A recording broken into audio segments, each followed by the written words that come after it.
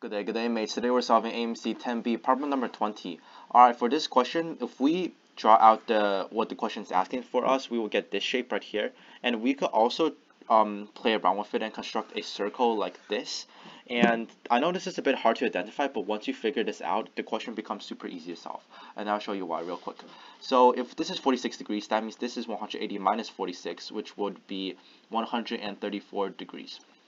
Alright, and we could see that a property of the circle is that if we have an arc going from the center of the circle to an arc length of the circle, let's call this theta, and we have another one that touches the perimeter of the circle, that will be theta divided by 2. And given this property of a circle, we could solve this question.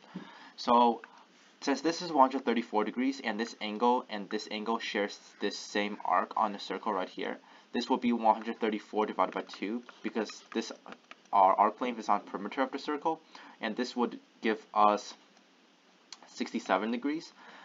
And uh, we can see that BFC the angle we're trying to find and this angle added up equals 180 degrees so our answer will be 180 minus 67 which would be 113 or answer choice D